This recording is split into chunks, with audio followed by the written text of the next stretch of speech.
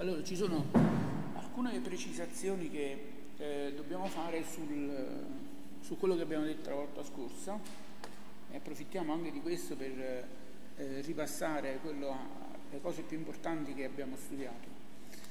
Eh, la prima cosa è, premettiamo che il diagramma circolare, come di solito ogni modello, eh, opera ovviamente delle semplificazioni, cioè ci sono delle cose che vengono trascurate e altre cose che, eh, eh, sulle quali si fanno grosse approssimazioni. Allora, se ricordate, il circuito equivalente è composto da un'impedenza statorica, che indichiamo qui con Z con S, così facciamo prima, un'impedenza eh, di magnetizzazione, Z con M, e un'impedenza rotorica, eh, Z con R, punto chiusa in cortocircuito. Ehm, noi siamo partiti nello studio del eh, diagramma circolare, nel tracciamento del diagramma circolare, eh, supponendo che la forza elettromotrice indotta E eh, e la eh, caduta di tensione V in qualche modo coincidessero e quindi questo significa che stiamo trascurando la caduta di tensione delta V con S che eh, indichiamo qui. Così. Questo è Z con S delta V con S. Quindi questa qui la mettiamo per il momento tra parentesi per dire guarda, in questa situazione E e V più o meno coincidono, più o meno, questa qui è un'approssimazione abbastanza importante e abbiamo cominciato a, a tracciare il diagramma circolare, per cui abbiamo visto che il punto di S uguale a infinito in, queste, in questa circostanza qui capitava qui S uguale infinito. Nel momento in cui però introduciamo le perdite joule di statore, e beh, allora, eh, allora questa cosa qui non dovrebbe valere più, perché qui nelle perdite joule di statore c'è proprio la R con S, che è un elemento dissipativo e che dissipa le perdite appunto joule di statore che è uguale a 3 R con S per I con S al quadrato. Allora ecco perché l'introduzione delle perdite Joule di statore eh, rimuove parzialmente una delle grosse semplificazioni che abbiamo fatto sull'impedenza statorica Z con S, cioè rimette di nuovo questo elemento che noi in modo arbitrario avevamo eliminato. Come conseguenza di questo fatto, il punto z eh, con S, il punto S uguale infinito non verrà a trovarsi più in questo punto qui, ma verrà a trovarsi esattamente qui. Quindi il punto S uguale infinito è esattamente questo. Ehm, ricordatevi, eh, ricordiamoci che eh, quando abbiamo disegnato il diagramma circolare lo abbiamo fatto partendo da quello che succedeva sulla maglia rotorica, cioè su questa maglia qui di rotore. E abbiamo detto, guarda che dentro la Z con R, la Z con R, in realtà la Z con R è composta da una eh, R' con R diviso S più una X' con R. E abbiamo fatto variare lo scorrimento S da 0 a infinito. Quindi abbiamo fatto variare questo elemento, cioè l'elemento resistivo, dell'intera impedenza. E abbiamo visto che eh, il valore della corrente nella maglia di rotore percorreva appunto una semicirconferenza. E, e quindi eh, ora che abbiamo introdotto la caduta di tensione sullo statore, eh, questa semicirconferenza, intera semicirconferenza, è diventata una un arco, non è più un'intera semicirconferenza, ma un arco che si estende da questo punto qui,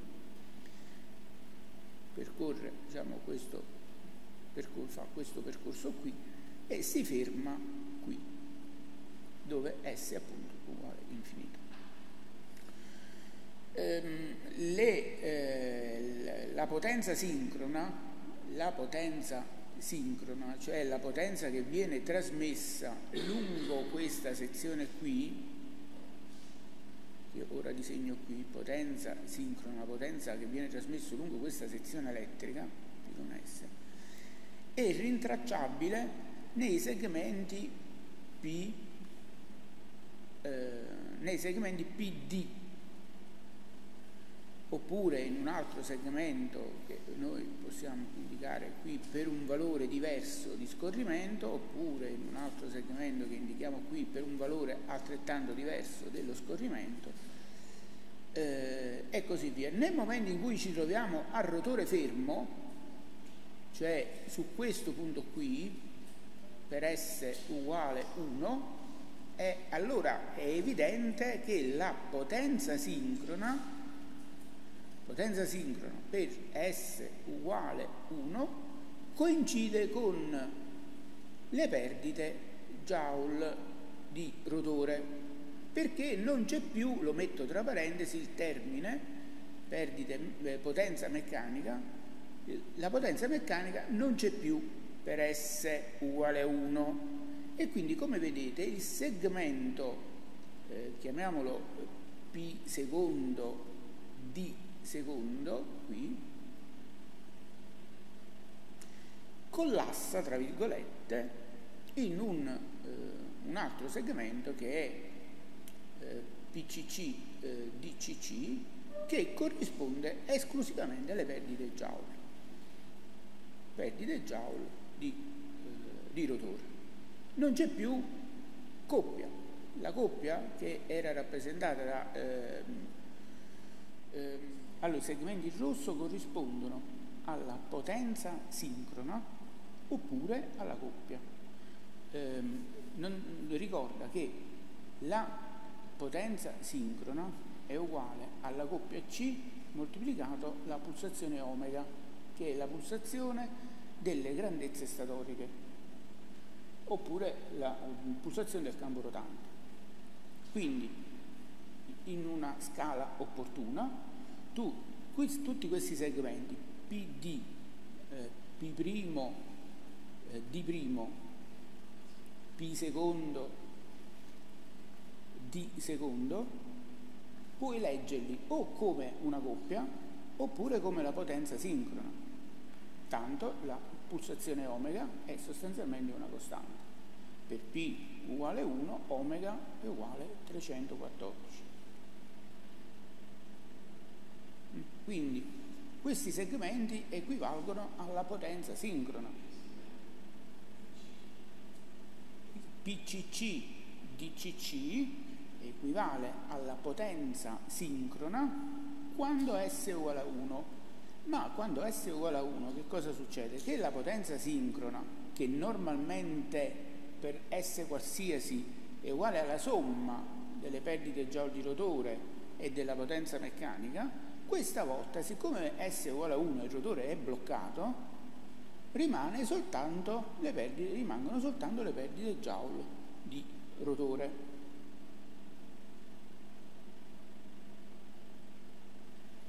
Quindi per S uguale a 1 noi abbiamo omega con m, indichiamolo così, per S uguale a 1 abbiamo omega con m uguale a 0 non c'è potenza meccanica, vedete ho cancellato la potenza meccanica qui sopra, so che il puntino non si vede bene, la potenza meccanica qua sopra l'ho cancellata per S uguale 1 e quindi per S uguale 1 abbiamo la potenza sincrona che corrisponde alle perdite Joule di rotore.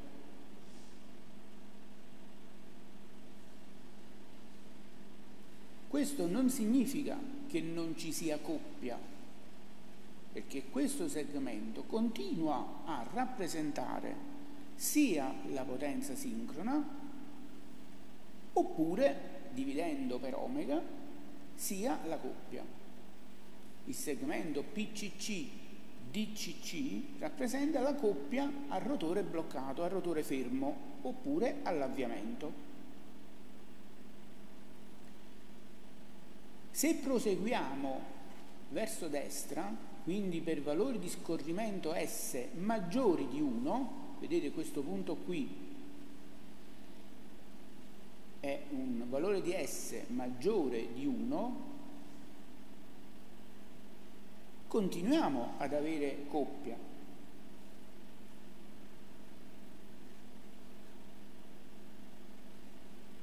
Fino ad arrivare a questo punto qui che S, dove S è infinito, è evidente che questa zona qui è una zona eh, esclusivamente teorica, eh? Ne stiamo parlando qui, ma non è una zona praticata nella realtà. Quindi diciamo che diciamo, tutta questa zona qui che va oltre PCC è una zona nella quale le macchine asincrone di solito non vengono fatte per nulla funzionare, questa è una zona di funzionamento da freno e quindi la macchina eh, asincrona funziona come un elemento fortemente dissipativo.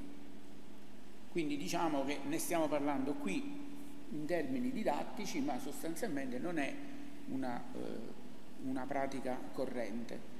Comunque, per S maggiore di 1 continua ad esistere, ad esistere, una certa coppia fino al punto in cui S diventa uguale a infinito e voi, come vi ricorderete dal disegno della eh, caratteristica elettromeccanica in un diagramma cartesiano, per S uguale a infinito la coppia tende a zero. Giusto? E quindi ci troviamo esattamente in questa situazione qui. Durante tutta questa escursione da S che va da 0 fino a S uguale a infinito, noi supponiamo, abbiamo ipotizzato che le perdite a vuoto, cioè il segmentino PCC A con 0, oppure BA, oppure BCC AC, oppure quello che volete voi anche per essere uguale infinito che è questo, non lo so come lo vogliamo chiamare, quest'altro segmento qui, sia sempre un elemento costante. Certo, anche questo è in un certo qual modo una certa approssimazione perché è evidente che al cambiare del valore della corrente I con S, I con S, qui sopra, al, al variare del modulo della corrente I con S sicuramente cambierà la caduta di tensione sull'impedenza statorica e quindi questa relazione qui V circa uguale E diventa sempre più debole mm? Quindi diventa un'approssimazione sempre più grande e noi abbiamo legato le perdite nel ferro, le perdite a vuoto nel ferro, proprio forza, al quadrato della forza elettromotrice E. Vi ricordate che le perdite nel ferro sono uguali a 3 volte E proporzionali, non uguali, proporzionali a 3 volte E al quadrato diviso R, come l'abbiamo indicato, R con 0, R con A, R con M, non mi ricordo più, R con 0, no, R con A. R con A, cioè la resistenza presente nella Z con M. E quindi questa è un'approssimazione che continuiamo a mantenere, cioè a supporre che le perdite a vuoto rimangano sostanzialmente costanti al variare dello scorrimento. E questa è una cosa che continuiamo a tenerci. Quindi eh, come vedete ci sono alcune cose che vengono corrette, altre cose che invece, eh, visto che insomma, implicano una, eh, un'approssimazione più blanda, continuiamo invece a, a tenerle ipotizzate e tenerle così, non, non viene fatta nessuna correzione. Eh, ci sono domande su queste precisazioni? Mm? Eh, ora proseguiamo con eh, la nostra, ecco qua, allora, giusto per, io qui ho fatto rispetto alla volta scorsa la correzione eh, di S, ci ho messo una S qui non c'era la volta scorsa nel, eh, in questa diapositiva, vi ho condiviso le diapositive su, su Classroom, quindi le trovate lì. Eh, insieme alla registrazione penso che abbiate tutta la possibilità di eh, recuperare tutte le, le, le informazioni che, che, vi servono. Eh, la S anche in questo punto qui, che mi sembra mancasse, mentre invece quest'ultima espressione è abbastanza eh, corretta, naturalmente tenete conto che qui si parla di V con 2. Eh, vi ricordo la dipendenza con il quadrato della tensione di alimentazione. Quindi questo vuol dire che se dimezzo la tensione di alimentazione, la caratteristica elettromeccanica diventa un quarto più piccola rispetto alla caratteristica eh, disegnata qui per un valore di, alimentazione che è quello che potrebbe essere per esempio quello della eh, tensione nominale, però insomma, può, può anche non essere quello.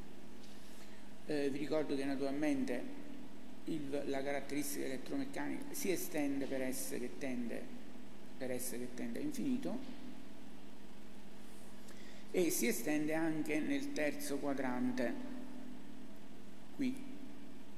Mi sembra che l'avevamo disegnata da qualche parte la caratteristica elettromeccanica, non me lo ricordo più, eh, estesa in tutti i quadranti, no, non, non l'avevamo ancora disegnata avevamo disegnato a mano, giusto? Allora, ridisegniamola di nuovo, cercando, sperando di riuscire più o meno in questa impresa.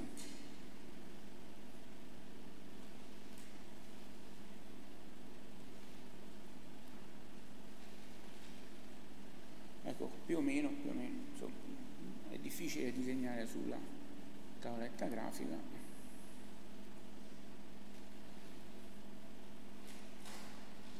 allora coppia C eh, scorrimento S qui abbiamo S uguale a 0 qui S uguale a 1 qui S uguale a meno 1 allora abbiamo visto che il punto di normale funzionamento per questa macchina sincrona si trova più o meno in questa zona qui non può trovarsi qui perché è un punto in cui ho il valore massimo della coppia e quindi potrebbe essere un punto di instabilità. Mm? Cioè è un, un punto che, in cui mantenere la stabilità è più difficile, mettiamola così. Mentre invece, eh, ricordate che S uguale a 1 significa asse fermo, mm?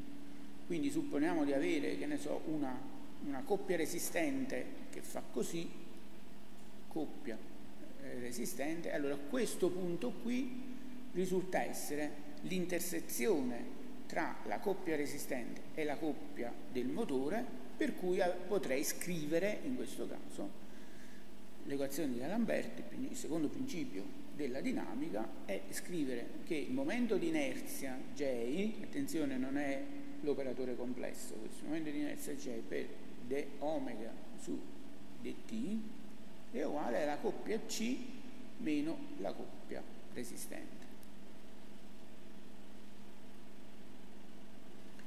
E allora qui dove la coppia resistente diventa uguale alla coppia C, qui nel punto P, chiamiamolo punto P, questo qui, allora nel punto P hm, abbiamo questo termine qui, questo termine è uguale a 0. E quindi abbiamo accelerazione angolare nulla e quindi omega costante. Questa qui dovremmo indicarla come omega m, correggete perché altrimenti dico omega m qui e omega m qui, mm? per evitare confusione con il campo rotante. Beh, allora questo punto P avrà delle coordinate, punto P avrà come coordinata appunto eh, C con 1 chiamiamola C con 1, oppure CP, virgola, eh, scusa, prima la scissa, quindi omega, omega P, virgola, e eh, CP.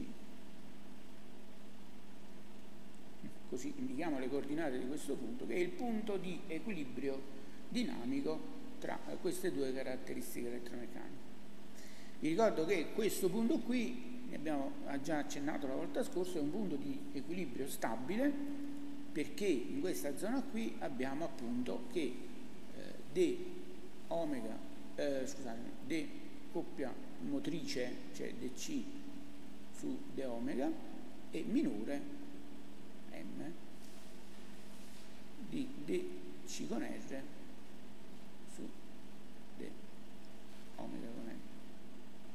DC con R su D omega con M è evidente in questo caso particolare che ho disegnato in questo caso qui è una costante perché è una retta orizzontale, un segmento orizzontale quindi è una costante.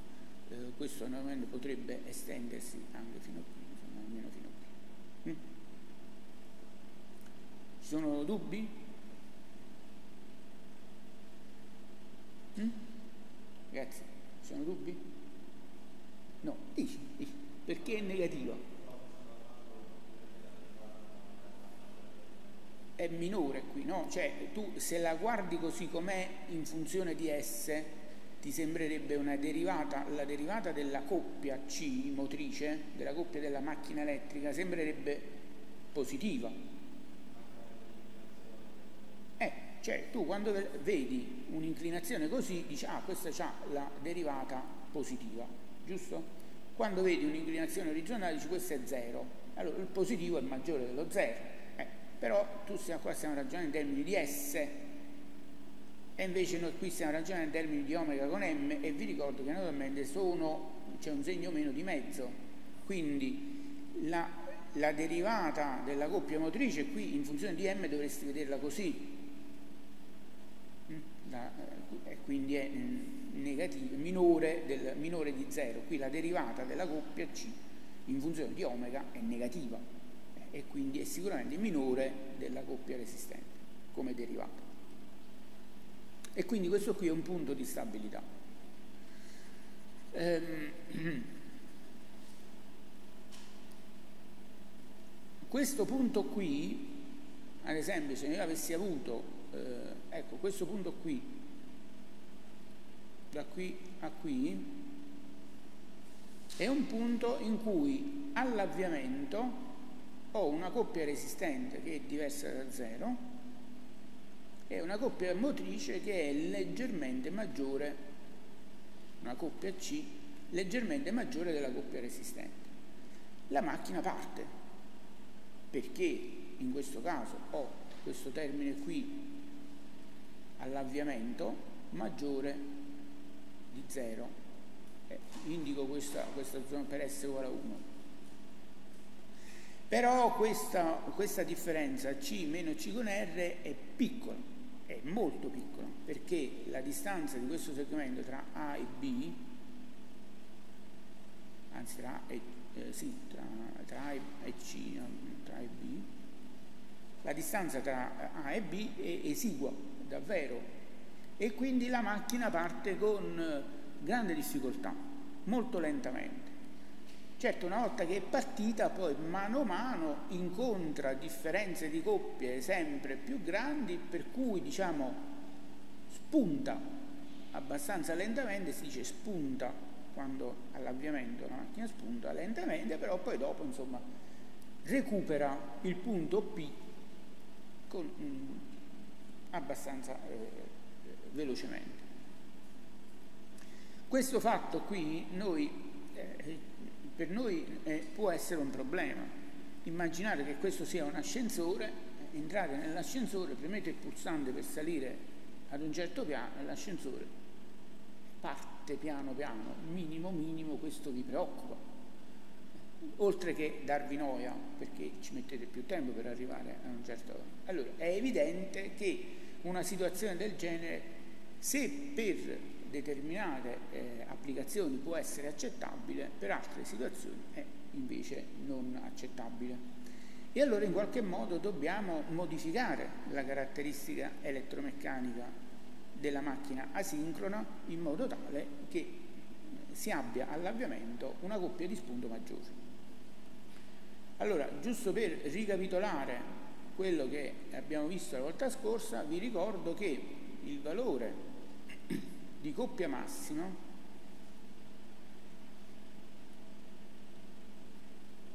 CM e il valore di scorrimento S star, per cui abbiamo il valore eh, di CM, è uguale a R' con R diviso X' con R.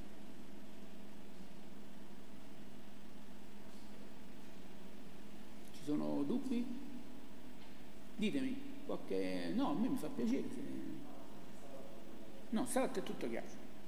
Allora, visto che vi siete distratti un attimo, mentre dicevo che il valore di coppia massima lo abbiamo quando S star è uguale a R' con R diviso X' con R, su questo fatto qui, ve lo ricordate questo fatto? Perfetto. Allora, che cosa dobbiamo fare per ottenere un valore maggiore di coppia all'avviamento? Dobbiamo deformare la caratteristica elettromeccanica in modo tale che S star si porti di più verso valori di S maggiori, possibilmente S uguale a 1. Mm. E quindi fare in modo, se vogliamo una coppia, cancello ora tutto questo, se vogliamo una coppia all'avviamento, no Tanto è tutto registrato, eh. non c'è problema. Se vogliamo una coppia all'avviamento più, eh, più intensa,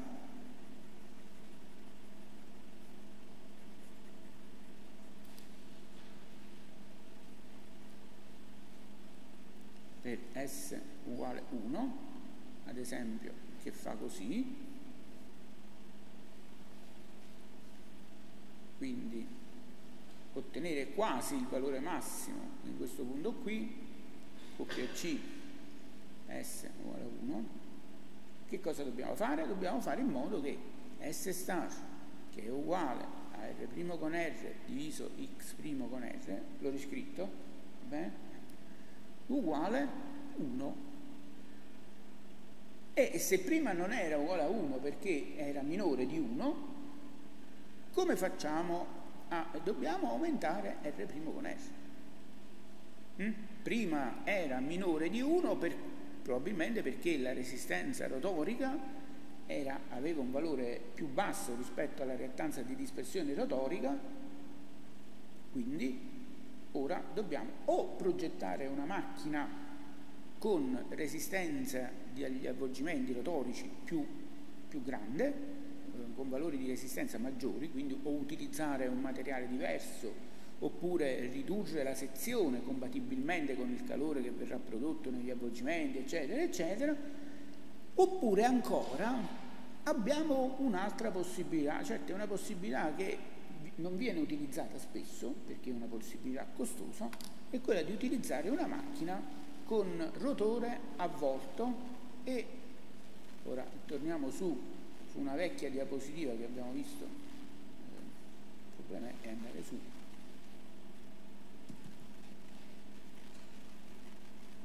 Ci siamo quasi.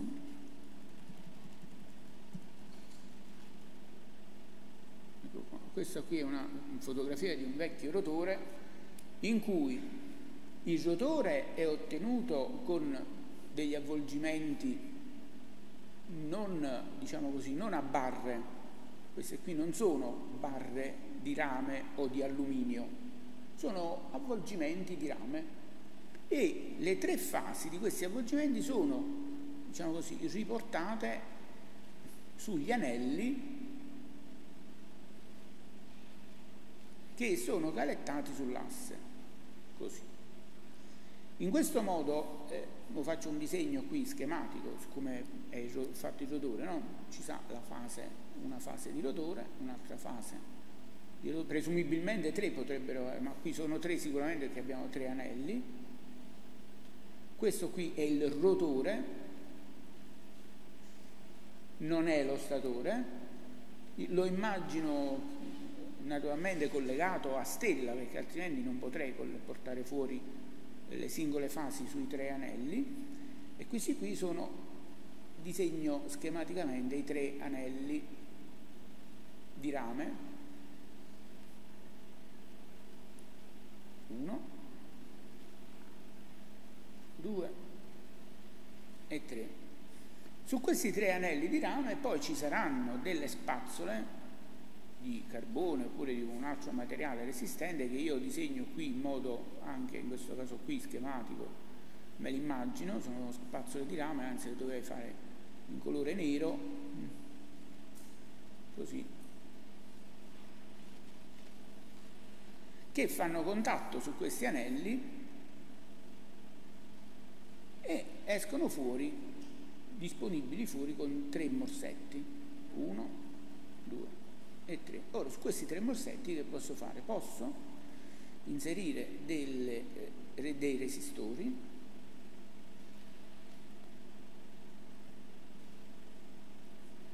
resistori di tipo variabile così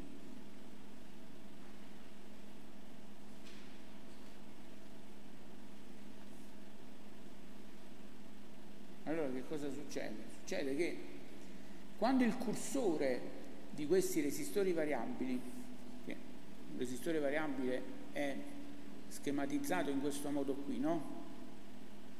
Quando il cursore è spostato verso il basso, ho inserito in serie agli avvolgimenti di rotore massimo, il massimo valore di resistenza che è il valore di resistenza presente ai morsetti estremi del resistore. Quando il cursore è spostato verso l'alto, in pratica sto realizzando un vero e proprio cortocircuito su questi tre morsetti. E quindi in pratica ho la possibilità di modificare il valore complessivo R di rotore totale tra un, il valore R' con R e il valore R' con R più R. La chiamo addizionale, no, addizionale brutto, eh, mettiamo R a V perché vi spiego perché R di avviamento. Mm. Quella AV sa R di avviamento, dove R di avviamento è appunto la resistenza complessiva presente da qui a qui. Mm. La resistenza complessiva del resistore variabile. Dimmi.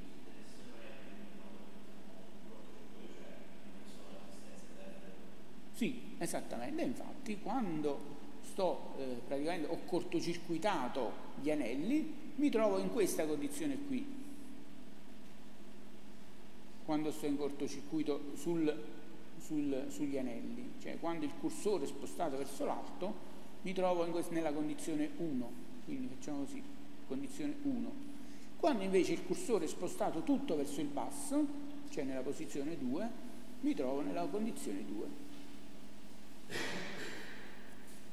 Mm? Chiaro?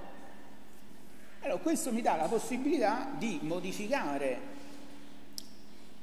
diciamo così, in linea, cioè eh, eh durante il funzionamento della macchina, di modificare la caratteristica elettromeccanica, quindi trasformarla mentre sta funzionando.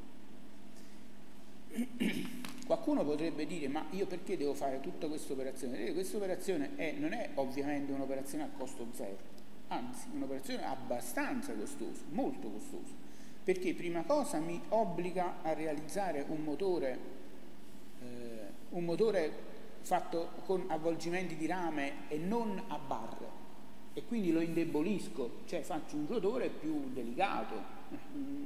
una cosa è fare un rotore a gabbia tutto annegato e quindi nel ferro e quindi praticamente quasi indistruttibile. Un'altra cosa invece è fare degli avvolgimenti di rame col filo smaltato, eccetera. Poi mi obbliga anche ad utilizzare degli anelli di rame, quindi dei contatti striscianti e, che, e quindi questo implica anche che io questo tipo di motore non lo posso utilizzare in tutti gli ambienti possibili, ambienti che, dove ci può essere, che ne so, del gas oppure vapori di benzina o qualcosa del genere, questo motore non può essere utilizzato perché ci sono i contatti striscianti che possono innescare eh, del, dei processi distruttivi. Quindi assolutamente, poi c'è la manutenzione, il costo maggiore proprio per realizzarlo, insomma ci sono tantissimi problemi. Perché dovrei fare questa operazione? per fare soltanto per avere un po' di coppia all'avviamento. Beh, certo la coppia di avviamento è sicuramente un fatto importante, però un, altro dei vantaggi importanti è quello di eh, migliorare il rendimento in questa zona qui. Allora, cerchiamo di capire le due situazioni quali sono? Primo, la prima situazione è quella di avere tutto il resistore inserito e quindi una coppia, facciamo un po' di pulizia qui sopra, una coppia all'avviamento quanto massima possibile. Provo a disegnarla così.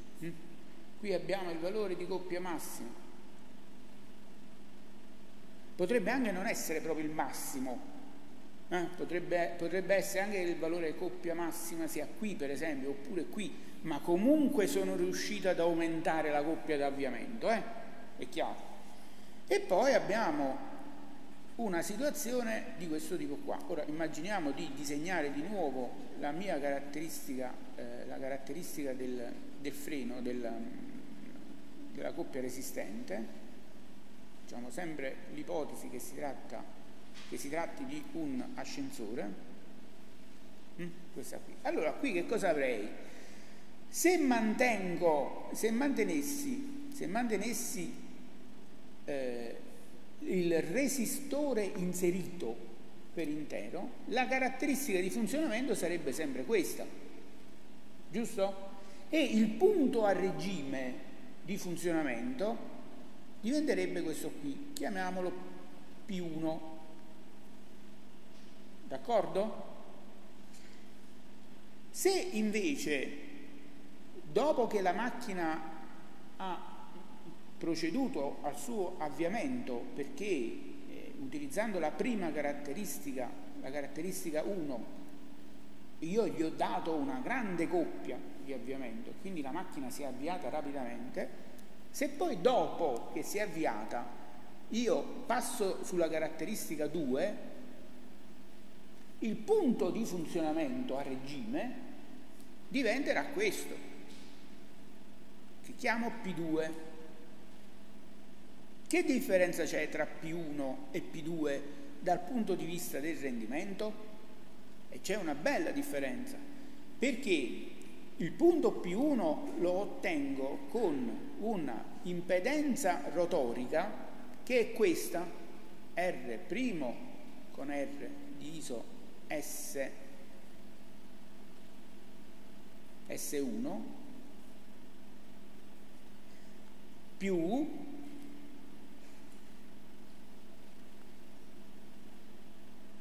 la X' con R più la resistenza di avviamento.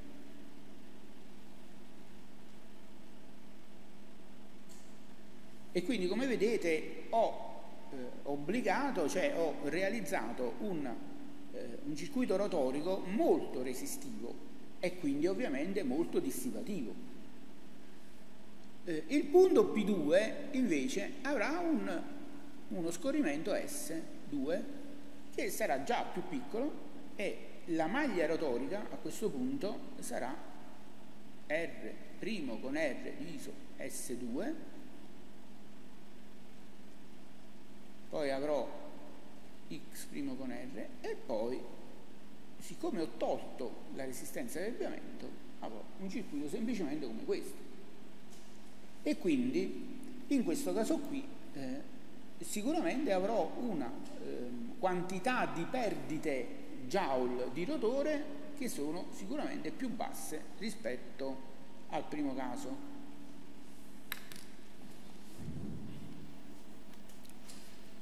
Ora, eh, vi ricordate quando vi ho detto che la potenza sincrona si divide in due parti? Una S P con S e l'altra 1 meno S P con S. Vi ricordate S P con S che cos'era?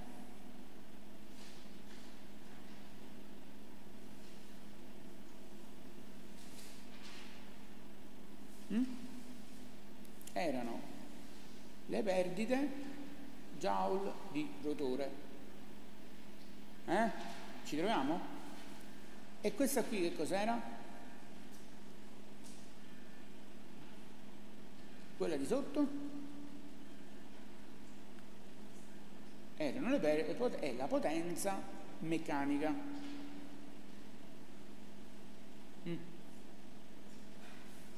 Allora, dal punto di vista del rendimento, visto che eh, da una parte abbiamo le perdite joule di rotore, anzi scusa, perdite joule di rotore con la R minuscola, le perdite joule di rotore, e dall'altro abbiamo la potenza meccanica, a voi che cosa farebbe piacere di più?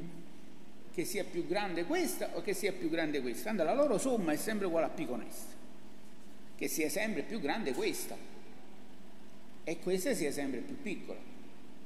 Quindi questo che cosa implica? Che quanto più piccolo S, tanto meglio è per noi.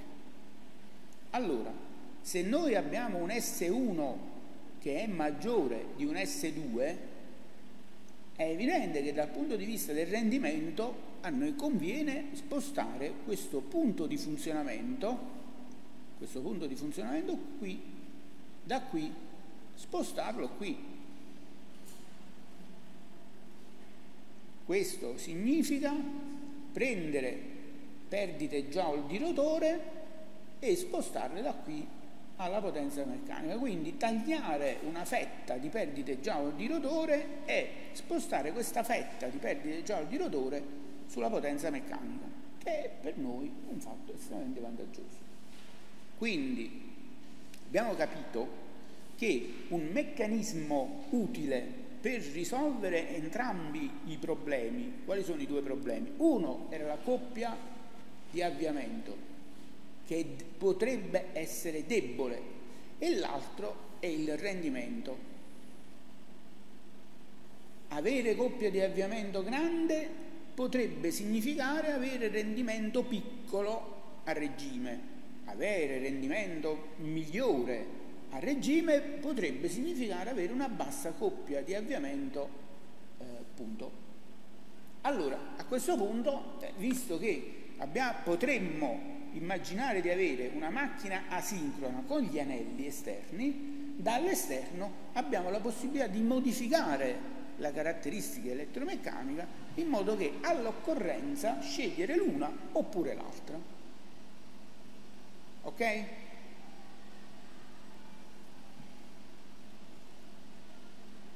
Per cui abbiamo anche visto che eh, esistono varie possibilità, no? abbiamo eh, la possibilità di modificare lo scorrimento massimo aggiungendo resistenza sugli avvolgimenti rotorici e contemporaneamente avere una coppia di avviamento sempre più grande,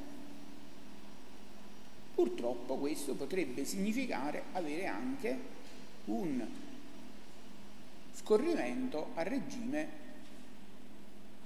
sempre più eh, elevato e quindi un rendimento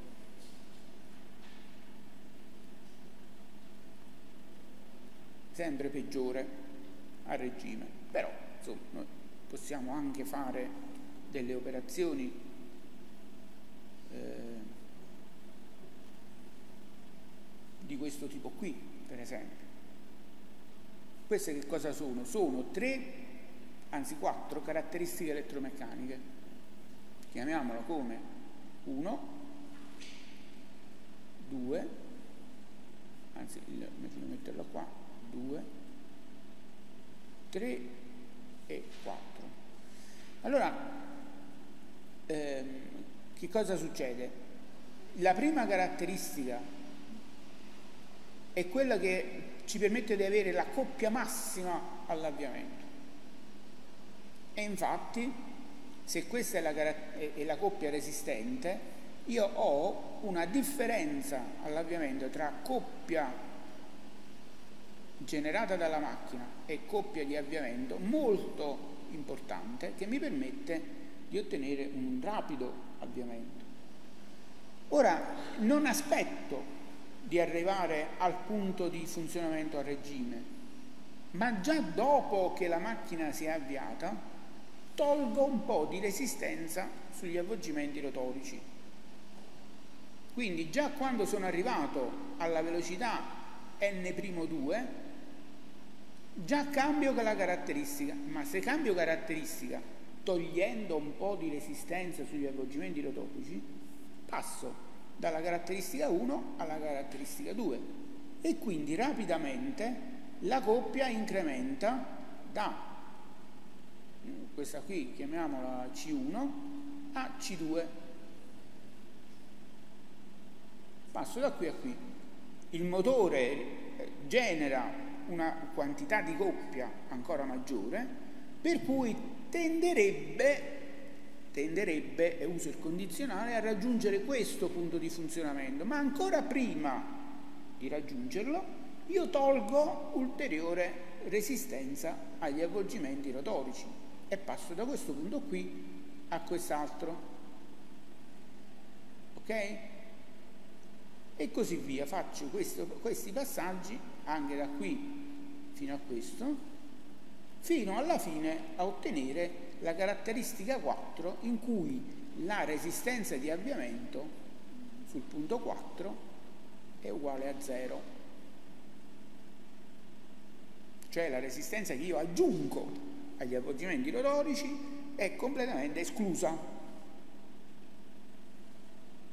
D'accordo? E quindi alla fine il sistema si assesta su questo punto di funzionamento qui che è il, funzionamento di, il punto di funzionamento a regime definitivo, che ovviamente si ha per una velocità abbastanza prossima alla velocità di sincronismo, perché N2 è abbastanza simile a N1, quindi vuol dire che lo scorrimento S2 è uno scorrimento abbastanza piccolo.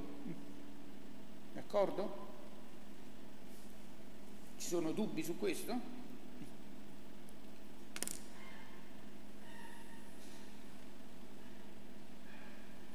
Ora, eh, ci sono anche delle tecniche eh, che sono, diciamo così, eh, ehm, che sfruttano un po' i principi elettromagnetici eh, del, della macchina per ottenere un risultato molto simile. Supponiamo di aver fatto un rotore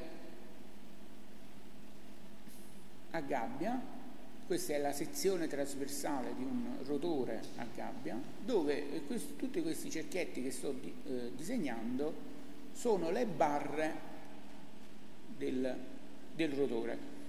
Mm? Quindi questa è una sezione trasversale, una sezione che è perpendicolare all'asse. E quindi questo qui è il rotore eh, faccio un, un disegno più grande e disegno la barra così. Per evidenziare faccio una, è uno zoom di questa zona qua. Ho fatto lo zoom di questa zona qui, d'accordo? Allora, se faccio questa operazione io ho un, una caratteristica elettromeccanica, potrei avere, supponiamo di aver utilizzato dell'alluminio, quindi un materiale abbastanza resistivo, potrei avere una, eh, una caratteristica di questo tipo qui. Allora, un attimo solo.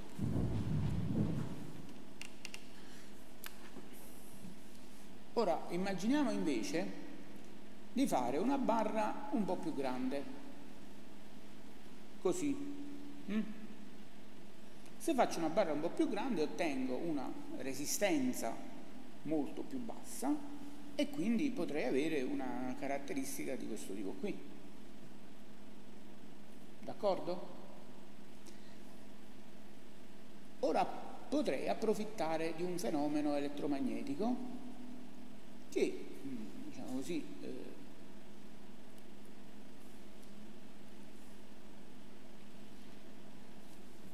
si verifica al variare dello scorrimento. Tenete presente che qui ho S uguale 1 e qui ho S uguale 0. Allora, vi ricordate che cos'è omega con R? Cosa abbiamo indicato con il simbolo omega con R? Con il simbolo omega con R abbiamo indicato la differenza tra per P uguale 1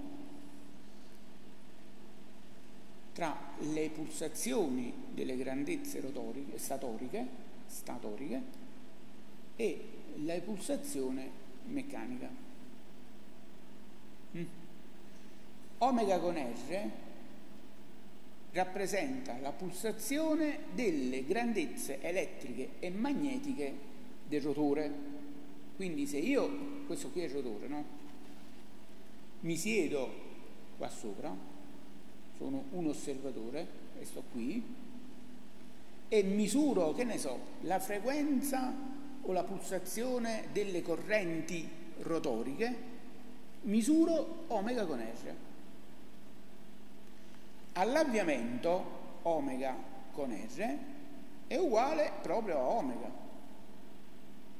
perché il rotore è fermo e quindi è tutto fermo, è la stessa cosa la pulsazione omega che sta sullo statore diventa uguale alla pulsazione eh, eh, che sta sul rotore e quindi omega, vedete che omega con m è uguale a 0 e quindi omega con r diventa uguale a omega, d'accordo? Se invece mi trovo a s uguale a 0, che cosa succede? Che omega meno omega con m, omega con m diventa uguale alla pulsazione di sincronismo, diventano uguali tra di loro e quindi omega con R è uguale a 0. Quindi avrò in questo caso qui omega con R uguale a 0. Con naturalmente tutte le omega intermedie che ci possono essere, no? se vado giusto in mezzo avrò una omega con R uguale a un mezzo di omega. Quindi la pulsazione omega con R durante la fase di avviamento, pronto? C'è qualcuno in linea? Allora, quindi la pulsazione omega con R durante tutta la fase di avviamento passa da un valore grande di frequenza a un valore che è zero, giusto? Ora, dal punto di vista elettromagnetico, le linee di flusso che attraversano lo statore il traferro e entrano nel rotore, è brutto dire che passano dalla statore al rotore, le linee di flusso si richiudono, è ovvio, no? quindi anche dal rotore vanno allo statore, questo non c'è dubbio. Però diciamo, le linee di flusso che attraversano il traferro entrano tanto più in profondità quanto, maggior, quanto minore è la pulsazione omega con R. Questo che, allora, eh, ripeto questa frase perché vi deve rimanere. Mm? Quanto minore è omega con R, tanto più in profondità entrano le linee di flusso. Quindi omega con R piccola, che tende a zero, le linee di flusso entrano in profondità nel ferro di rotore. Seguite? Per omega con R abbastanza alto invece le linee di flusso tendono a richiudersi tendono a richiudersi lungo la periferia del eh, del rotore e non entrano in profondità. Quindi per omega con R prossimo a omega, ottengo una situazione del genere. D'accordo? Allora ci ricordiamo le due situazioni? Eh, giustificare questo fenomeno è abbastanza complesso, è evidente, e richiederebbe la, affrontare lo studio delle equazioni di Maxwell, quindi non, non è una cosa che ci eh, proponiamo di fare al momento. Però per voi è sufficiente che eh, vi ricordiate questa cosa qui. Quindi ricapitoliamo. Statore e rotore. Quando omega all'avviamento, allora, pronto? All'avviamento le linee di flusso rimangono prossime al traferro. Quando invece la macchina si è avviata, cioè quando omega con R è basso, le linee di flusso entrano più in profondità. Sfruttiamo questo fatto qui per creare una barra anziché formata da un'unica barra circolare bella grande, ottenere una barra che fa così, cioè che entra in profondità nel rotore. Poi gli vogliamo dare una forma diversa, forma a goccia, oppure fare un'altra forma, non è un problema, dipende dal progetto. Allora che cosa succede? Succede che ehm, quando a, ci troviamo all'avviamento, tutto il rame di questa barra e quindi tutta la corrente che circola in questa barra si concatena con le linee di flusso. Eh, scusatemi, non l'avviamento, quando stiamo eh, a regime, quando stiamo a regime, cioè per omega con R uguale a 0, tutta la barra si concatena con le linee di flusso e quindi abbiamo una caratteristica che è, è questa, sostanzialmente. Quando invece ci troviamo all'avviamento, le linee di flusso tendono soprattutto da, a, a concatenarsi con questa parte di barra e quindi la corrente a addensarsi soprattutto nella parte più periferica della barra. Quindi la resistività effettiva di questa barra si è ridotta perché la corrente tende a circolare soprattutto in questa zona qui. Quindi abbiamo alla fine all'avviamento una resistività maggiore, cioè abbiamo una caratteristica come se fosse questa. A regime abbiamo una resistività più bassa e quindi abbiamo una caratteristica simile a questa. Naturalmente questo scambio di caratteristiche è uno scambio eh, continuo, cioè non è che io passo da una caratteristica all'altra con una discontinuità improvvisa come succedeva qui, eh, ma è uno scambio continuo, per cui la caratteristica elettromeccanica della macchina non, non è né questa e né questa, bensì è questa qui alla fine.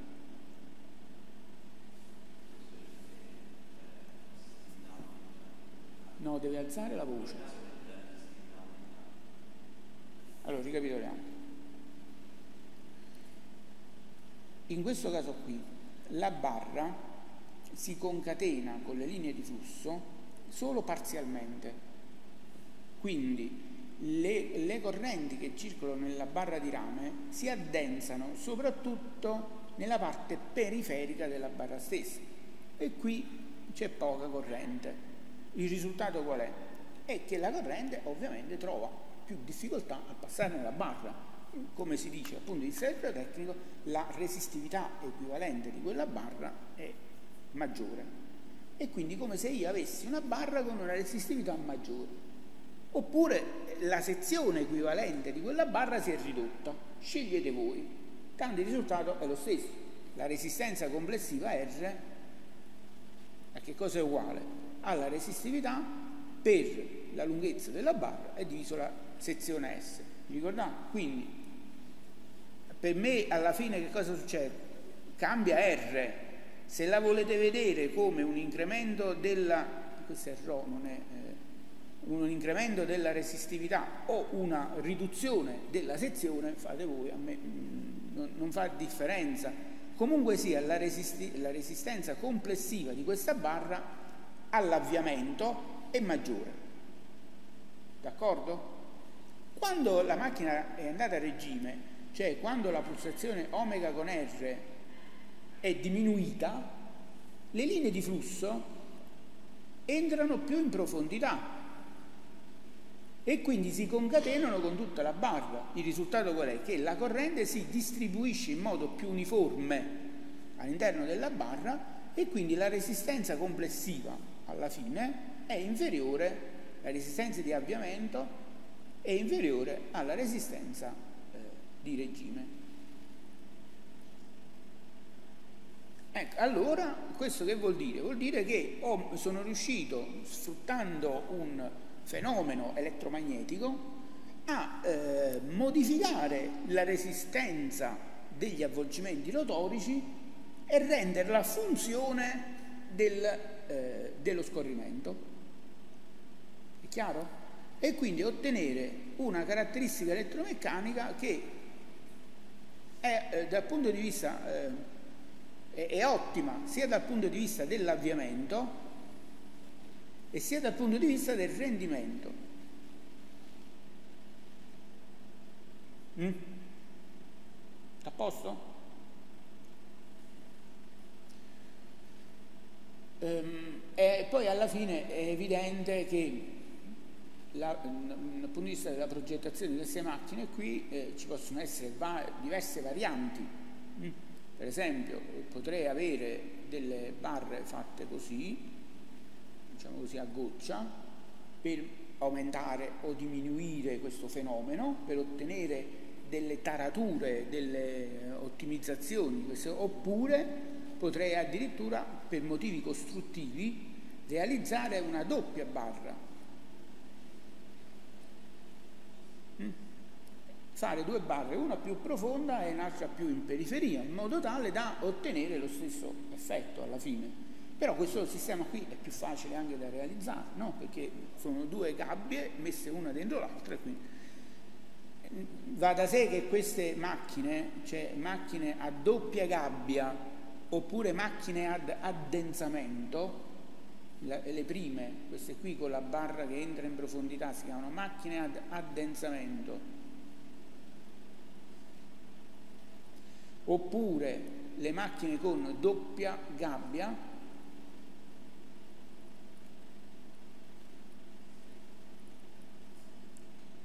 hanno ovviamente un costo maggiore rispetto alle macchine fatte con una gabbia sola eh?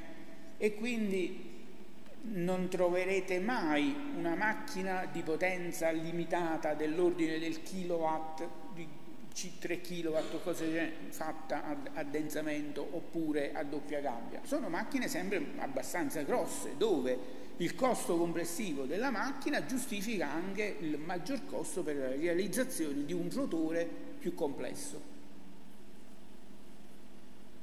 Giusto? Mm. Ok, e quindi abbiamo ehm, visto insomma, anche questo, eh, questo fatto.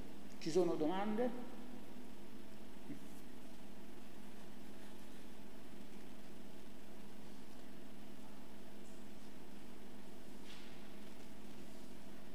Ok, l'ultima cosa che c'è da aggiungere, almeno per il momento, poi mano a mano che ci verranno in mente altre precisazioni da fare, le vedremo. Allora, abbiamo eh, disegnato la caratteristica elettromeccanica e l'abbiamo disegnata nel primo quadrante, abbiamo la coppia in funzione di S, questa volta coppia in funzione di S, l'abbiamo disegnata nel primo quadrante e soprattutto eh, nel primo quadrante e l'abbiamo disegnata anche nel terzo quadrante. È opportuno in qualche modo dividere anche con due assi verticali che passano per S uguale 1. Abbiamo visto che questo punto qui rappresenta il rotore fermo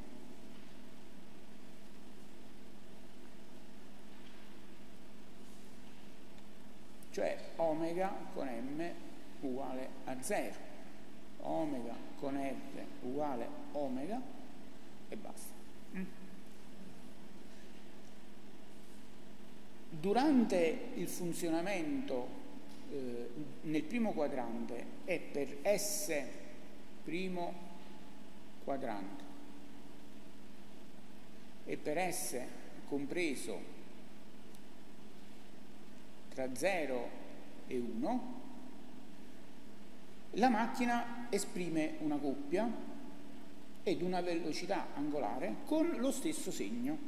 Quindi avremo, supponiamo che questa qui sia il nostro motore, questo è l'asse del motore, avremo una coppia C e una velocità angolare omega con m e in base alla convenzione che abbiamo stabilito, che ne so, coppia oraria positiva, così come si stabiliscono le convenzioni per le tensioni su una maglia elettrica.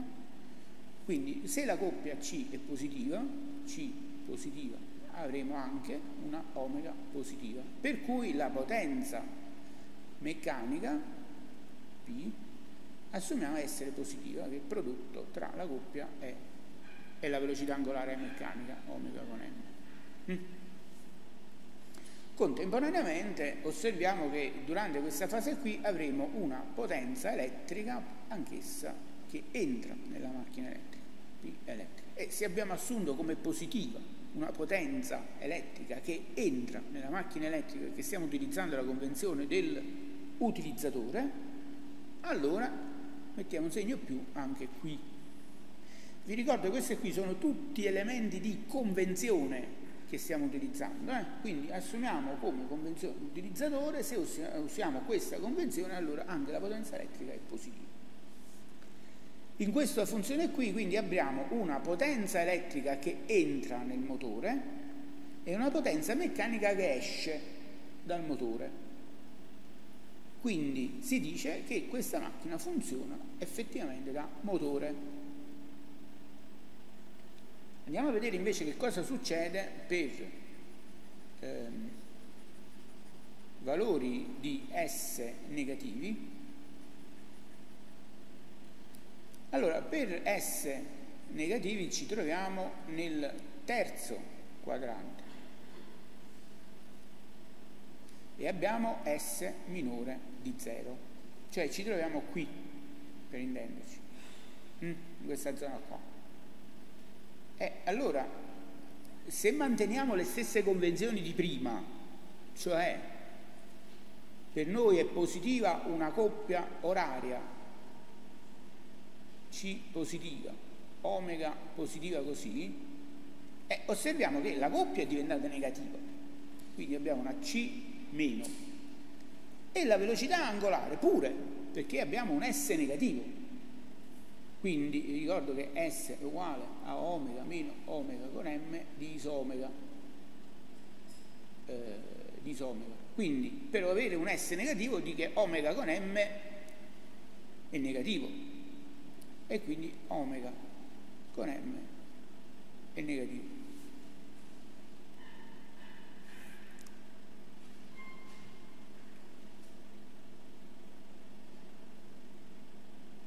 Ci? O ho detto una stupidaggine?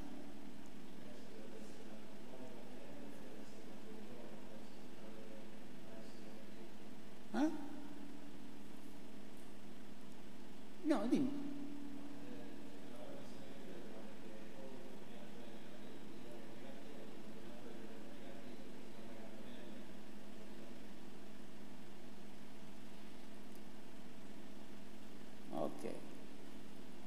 Quindi abbiamo una omega con m, come ci devo mettere? Positivo o negativo?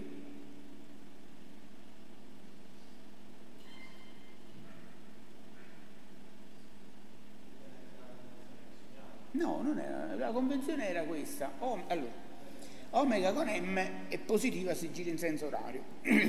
qui, in questo punto qui, in questa zona qui, era oraria e girava in un verso. In questa zona qui che fa?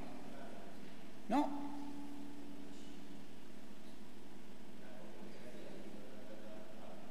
Non è negativa. Omega non è negativa.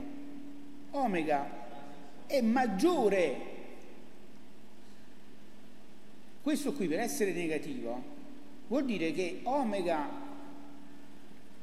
hai visto che ogni tanto, che omega con m deve essere maggiore di omega. Quindi omega con m è sempre positiva, è maggiore di omega, ma è sempre positiva. Quindi omega con m è positiva. D'accordo? Esattamente, la potenza, no, la coppia è negativa perché è più negativa di così, vedi, sta giù, sta sotto, è negativa la coppia. Esattamente, no, chi? La coppia va in senso antiorario, esattamente. Però la potenza meccanica, qui che ci devo mettere segno più o segno meno? Pronto? Ci devo mettere segno meno, perché meno per più fa meno. Okay. Quindi la potenza meccanica va in senso opposto alla convenzione che avevamo stabilito prima.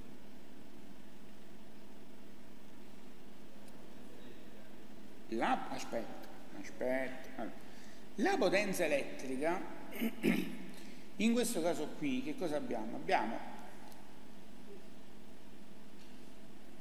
sempre se riusciamo a superare le perdite a vuoto, hm, abbiamo una potenza elettrica, come la forza elettromotrice indotta a questo punto si è invertita, allora a questo punto abbiamo una potenza elettrica che potrebbe, potrebbe, se è sufficientemente grande la potenza meccanica, essere negativa, P elettrica, segno meno così.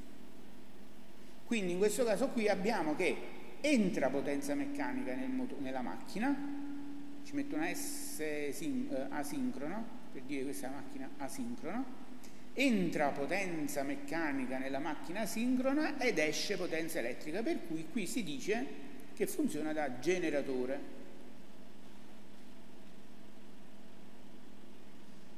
Ok?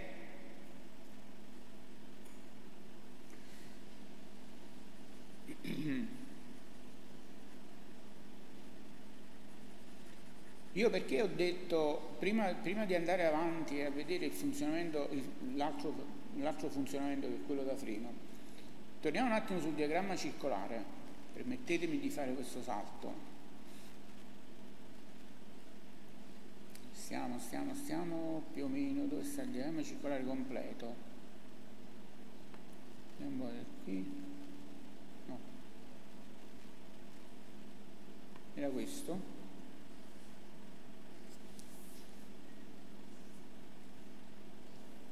Ci siete? Posso dire un'altra cosa? Mm? Allora, abbiamo visto che prima in questa zona qua, no? Che ora marco con tanti puntini, però voi mi seguite, no? qui ci sta S uguale infinito. Mm? Allora, fino a questo punto qui, S uguale 1, abbiamo visto che da S uguale a 0 fino a S uguale a 1 e funzionamento da motore. Poi abbiamo visto il funzionamento da generatore.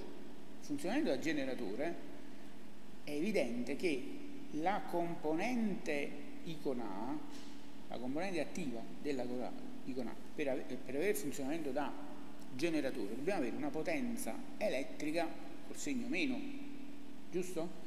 E quindi questa qui è uguale 3 V per I coseno di Φ. Aspetta, aspetta, aspetta, aspetta. Quindi questo è uguale a 3V per I con A. Giusto?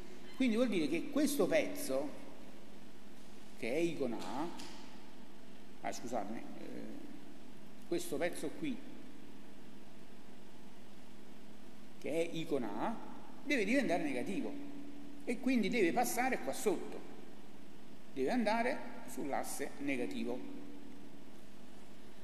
Per farla diventare negativa, eh, siccome questo qui è S uguale a 0, vuol dire che non è proprio sufficiente avere un S negativo piccolo. Per esempio, se io ho un S negativo piccolo, vedete il puntino, ora sto facendo un puntino là sotto, io lo so che col mouse certe volte è difficile andarlo a vedere. Qui. Qua c'è un S negativo, ma non è sufficiente a fare in modo che icona sia diventata negativa, perché ci sono le perdite nel ferro, le perdite a vuoto. Allora, qui ho un S abbastanza negativo, tale per cui la E è diventata uguale a 0 e per cui sono riuscito in qualche modo a azzerare le perdite a vuoto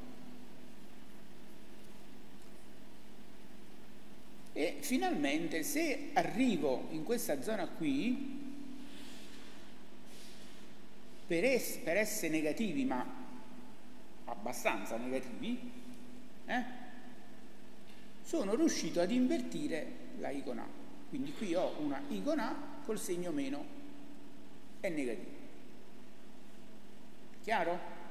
allora in questa zona qui il funzionamento è da generatore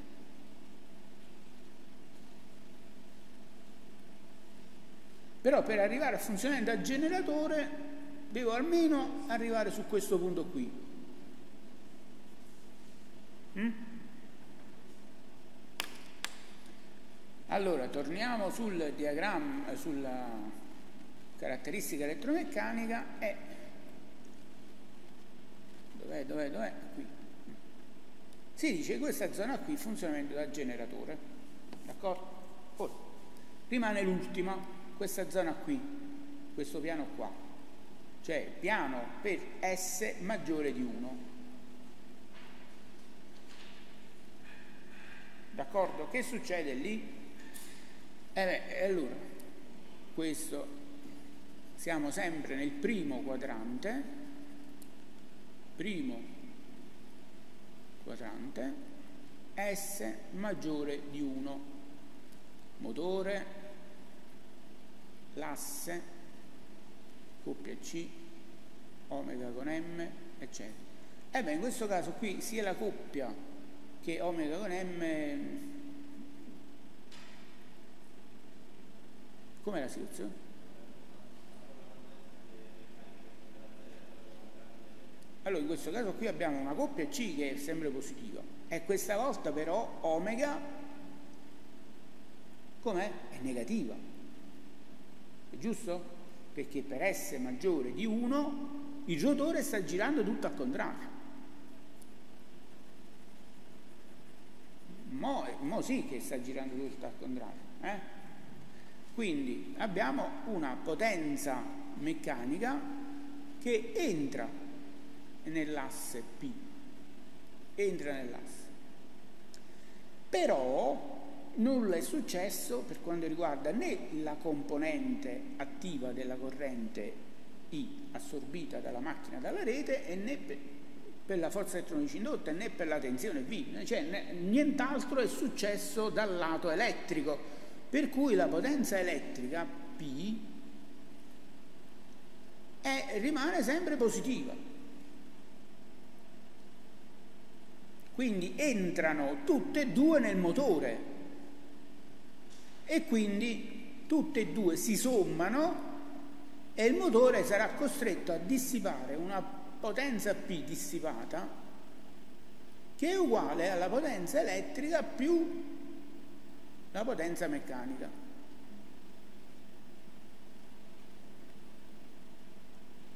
E quindi vi lascio immaginare, povero motore, che cosa deve sopportare. Eh, vi lascio anche immaginare che questa situazione qui non è. Quindi, quindi qui funziona da freno si dice il motore funziona da freno perché il freno è un oggetto totalmente dissipativo. I freni delle automobili come sono? dissipativi? A meno che non si tratti di una bella automobile elettrica in cui la frenatura sia, come si dice, a recupero per cui viene recuperata l'energia. In quel caso lì il motore viene fatto funzionare da generatore. In questo caso qui viene fatto funzionare da freno e quindi non è una situazione particolarmente favorevole per nessuno, né per il motore né per noi. Andiamo a vedere nel diagramma circolare questa situazione dove si trova, nel diagramma circolare si trova qui cancello questa zona qua perché così faccio un po' di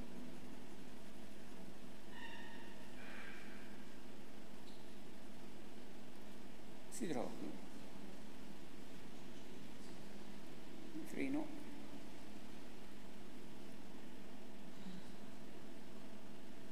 mm. Fino ovviamente a S uguale a infinito ma è evidente che questa zona qua non la vorrei manco disegnare perché non ci si arriva nemmeno, insomma, S uguale all'infinito.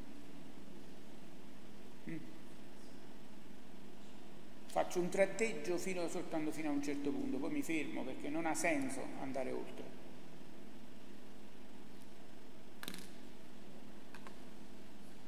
Ok? Quindi abbiamo visto eh, diciamo così, tre, eh, i tre funzionamenti del motore. Mm, qua ci sarà il diagramma circolare completo, per cui anche qui si vedeva abbastanza bene eh, il funzionamento.